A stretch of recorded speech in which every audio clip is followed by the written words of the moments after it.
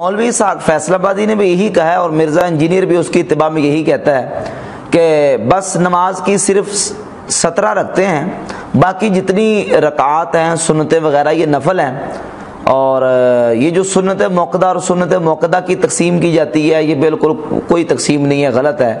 ساری جو رکھتے ہیں، باقی سترہ رکھتوں کے علاوہ فرائض کرا باقی سب نفل ہیں۔ پڑھ لیں تو سواب ہے، نہ پڑھے تو کوئی گناہ نہیں ہے۔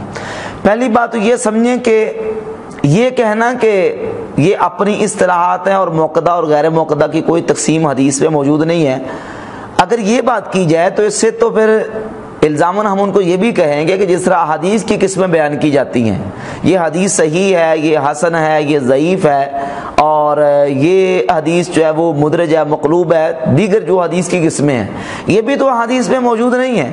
اور نہ ہی نبی کریم صلی اللہ علیہ وآلہ وسلم کے صحابہ کرام علیہ مردوان نے یہ تقسیم کی ہے۔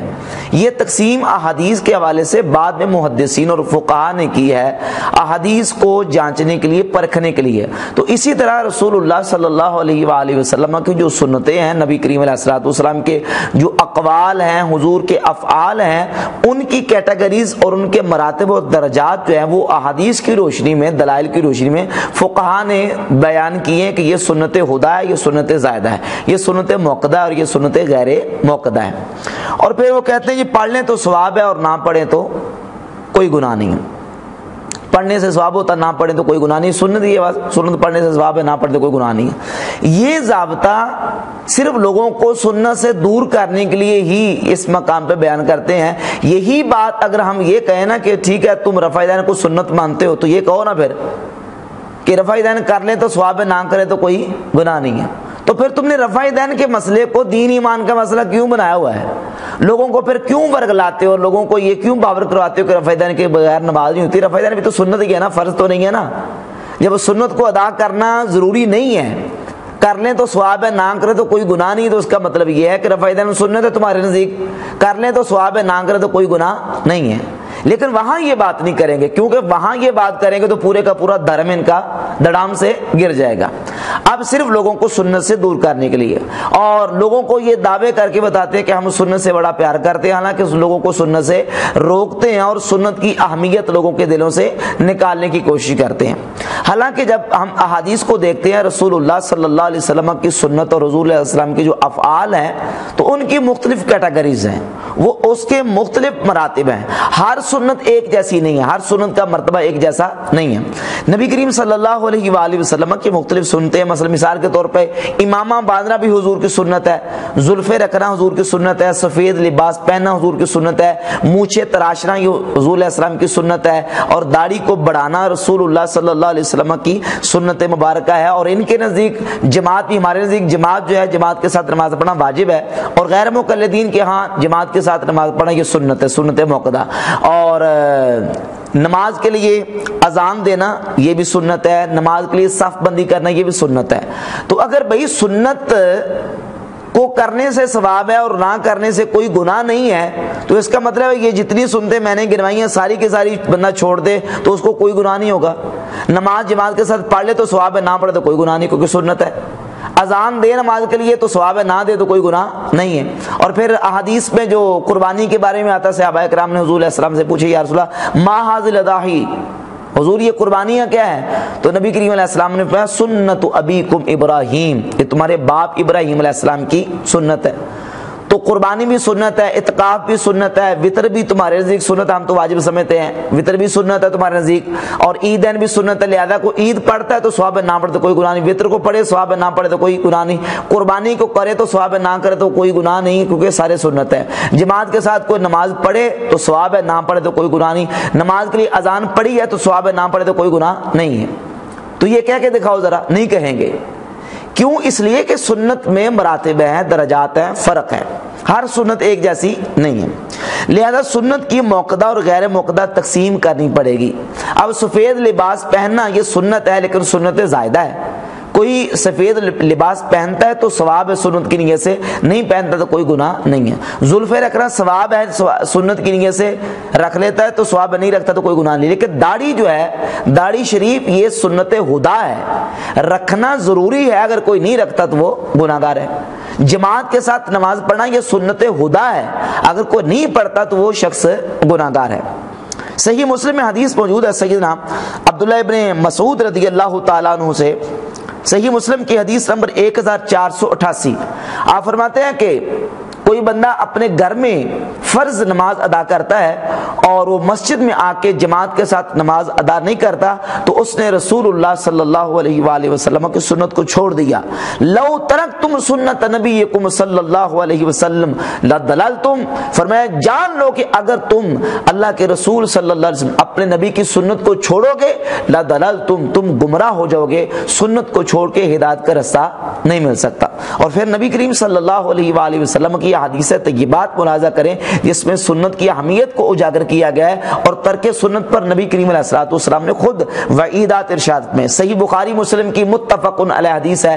نبی کریم علیہ السلام والسلام نے ارشاد فرمایا مر راغب عن سنتی فلیس منی جس نے میری سنت سے منہ موڑا اور جس نے میری سنت سے بے رغبتی اختیار کی، فلیس منی اس کا میرے ساتھ کوئی تعلق نہیں ہے۔ تو سنت کے ترک پر خود نبی کریم علیہ السلام والسلام نے وعید ارشاد فرمائی۔ جامع ترمزی میں حدیث کا نمبر ہے دو ہزار سات سو اکسٹھ اور سنن نسائی میں حدیث کا نمبر ہے پانچ ہزار ستاون نمبر حدیث ہے اور امام ترمزی نے اس حدیث کو ذکر کر کے صحیح کرا دیا۔ سرکار دو عالم صلی اللہ علیہ وسلم نے ارشاد فرمایا، من لم یاخذ من شاربہ فلیس منا، جس نے اپنی مونچھوں کو پست نہ کیا، وہ ہم میں سے نہیں ہے۔ اس کا ہمارے ساتھ کوئی تعلق نہیں۔ اب مونچھوں کو پس کرنا یہ سنت ہے، لیکن سنت خدا ہے۔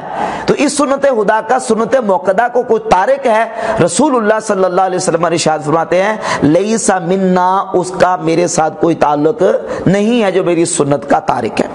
اور مشکات کی حدیث نمبر 109 ہے۔ مشکات میں امام بہکی کی کتاب المدخل کے حوالے سے اور رزین کی کتاب کے حوالے سے صاحب مشکات نے اس کو ذکر کیا اور زبیر الزئی نے اس حدیث کو حسن قرار دیا ہے۔ حدیث نمبر 109 رسول اللہ صلی اللہ علیہ وآلہ وسلم نے چھ لوگوں پر لانت فرمائی۔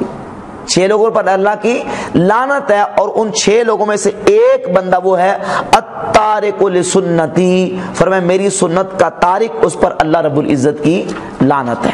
تو سنت کے تارک بیت کے بارے میں تو اتنی وعیدات موجود ہیں۔ اور یہ لوگ لوگوں کو سنت سے دور کرنے کے لیے، صرف اپنے طور پہ لوگوں کو اپنے قریب کرنے کے لیے اور سنت سے دور کر رہے ہیں اور اپنے قریب کرنے کے لیے لوگوں کو بیجا سہولتیں دینے کے لیے اس طرح کا باطل موقف اختیار کرتے ہیں کہ سنت کی کوئی امید نہیں ہے۔ اگر آپ پڑھ لیتے تو سواب ہے نہیں پڑھے تو کوئی گناہ نہیں ہے۔ حالانکہ رسول اللہ صلی اللہ علیہ وسلم کی جو سنت خدا ہے، سنت خدا جس کو سنت موقع بھی کہتے ہیں، جس پر نبی کریم علیہ السلام نے اپنے فعل کے اعتبار سے معاذبت اور دوام اختیار فرمایا، یا نبی کریم علیہ السلام نے قولن اس پر تاکید ارشاد فرمائی۔ وہ سنت خدا ہے، وہ سنت موقع ہے، اس کو کرنا ضروری ہے، لازم ہے اور اس کو بلا عذر چھوڑنا یہ جائز نہیں ہے، بلکہ گناہ ہے اب سرکار دو عالم صلی اللہ علیہ وآلہ وسلم نے نماز کی جو جو سنتیں ادا فرمائی حضور علیہ السلام نے نفل کے طور پر ادا کی ہیں، لیکن چونکہ حضور علیہ السلام والسلام نے جو رکعات نفل کے طور پر ادا کی ہیں، ان پر ہمیشگی کی ہے، اپنے عمل کے اعتبار سے معذبت کی ہے، یا حضور علیہ السلام والسلام نے امت کو اس کے کرنے کا حکم دیا ہے، تو وہ سنت تقیدی یعنی سنت موقع قرار پائی۔ حضور علیہ السلام کی سنت ٹھہری اور سنت موقع قرار پائی، اس کو کرنا کیا ہوگا؟ لازم ہوگا، ضروری ہوگا، اس کو چھوڑنا جائز نہیں ہے۔ اگر بلا عذر شرعی کو اس کو چھوڑ چھوڑتا ہے تو بندہ تارک گناہگار ہوگا اور حدیث سے میں آپ کے سامنے پیش کر چکا ہوں کہ سرکار دو عالم صلی اللہ علیہ وآلہ وسلم نے فرمایا کہ چھ لوگوں پر لانت ہے، ان میں سے چھٹا بندہ وہ ہے جو میری سنت کا تارک ہے۔ مشکات کی ایک سو نو نمبر حدیث ہے، سند کے اعتبار سے یہ حسن ہے۔ اور جو میری سنت سے منہ موڑے گا، اس کا میرے ساتھ کوئی تعلق نہیں۔ بخاری، مسلم کی متفق انہوں حدیث ہے۔ اور سینا عبداللہ ابن مسعود رضی اللہ تعالیٰ فرماتے ہیں کہ لو ترک تم سنت نبی صلی اللہ علیہ وسلم، اگر تم اپنے نبی کی سنت کو چھوڑ گئے لدلل تم تم گمراہ ہو جاؤ گے۔ صحیح مسلم کی حدیث ہے۔ تو رسول اللہ صلی اللہ علیہ وآلہ وسلم نے فجر، ظہر، عصر، مغرب اور عشاء کے ساتھ کچھ رکعات نفل کے طور پر ادا کی ہیں، لیکن دائمن کی ہیں، ان پر مواظبت اختیار کی ہے، ہمیشگی اختیار کی ہے، وہ ہمارے لیے سنت موقع ہیں ان کو پڑھنا لازم ہے اور چھوڑنا یہ جائز نہیں ہے، بلکہ چھوڑنا گناہ ہے۔ ام المومنین سیدت سیدتنا عائشہ صدیقہ رضی اللہ تعالیٰ عنہ فرماتی ہے سننے ابی دعود کی حدیث نمبر 1253 ہے۔ سند کے اعتبار سے لبانی نے بھی اس کو صحیح قرار دیا ہے۔ فرماتی ہے کہ نبی کریم صلی اللہ علیہ وآلہ وسلم کو میں نے کبھی بھی ظہر سے پہلے چار رکعتیں چھوڑتے ہوئے نہیں دیکھا۔ یعنی حضور نے ہمیشہ پڑھی۔ اور فجر کی نماز کے بارے میں تو صحیح مسلمہ اٹھا کے دیکھ لیں۔ فجر کی نماز کے وقت جو دو رکعتیں حضور پڑھتے تھے، جس کو سنت قبلیہ کہا جاتا ہے۔ نبی کریم علیہ السلاۃ والسلام کسی نفل پر اتنی ہمیشگی اور پختگی نہیں کرتے تھے جتنی فجر کی سنتوں پر۔ اور حدیث ہے ارشاد میں کہ فجر کی سنتے مت چھوڑو، اگرچہ تمہیں گوڑے اپنے پاؤں تلے روند کیوں نہ ڈالے۔ تو دیگر اس طرح کی احادیث جو ہے وہ تفصیل کے ساتھ موجود ہیں، جس میں سنت موقدہ کی پوری تفصیل بیان کی گئی اور صحیح مسلم کی حدیث نمبر ایک ہزار چھ سو چورانوے، ام المومنین ام حبیبہ رضی اللہ تعالیٰ عنہ فرماتی ہیں کہ رسول اللہ صلی اللہ علیہ وآلہ وسلم نے ارشاد فرمایا، جو شخص دن اور رات میں بارہ رکعتیں ادا کرے گا اللہ رب العزت اس کو جنت میں اس اس کے لیے گھر تیار فرمائے گا۔ تو یہ فضائل احادیث طیبات میں سنت قبلی اور سنت بادیہ کے موجود ہیں۔ لہذا یہ کہہ کے لوگوں کو سنت سے دور کرنا کہ بھئی پڑھ لے تو ثواب ہے، نہ پڑھ تو گناہ کوئی نہیں ہے۔ یہ گویا کہ لوگوں کو سنت سے دور کرنا ہے اور لوگوں کے دلوں سے سنت کی اہمیت کو ختم کرنا اور مٹانا ہے۔